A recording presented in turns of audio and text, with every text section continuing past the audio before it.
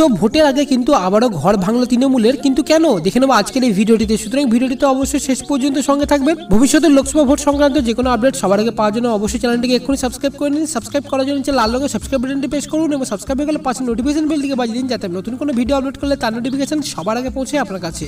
তো চলুন শুরু করা যাক।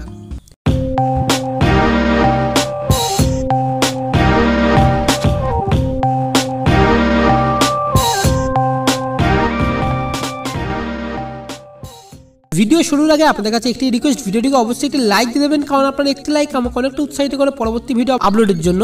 তো যেমনটা আপনাদেরকে বললাম, ভোটের আগে ঘর ভাঙলো তৃণমূলের বিজেপিতে যোগ শতাধিক কর্মীর। ভোটের মুখে শাসকের চিন্তা বাড়িয়ে পূর্ব মেদিনীপুরের ঘর বদল করলেন শতাধিক তৃণমূল সমর্থক। কাঁথির সাংগঠনিক জেলা বিজেপি নেতৃত্বের দাবি, তৃণমূল ছেড়ে তাদের দলে বহু কর্মী সমর্থক যোগ দিয়েছেন।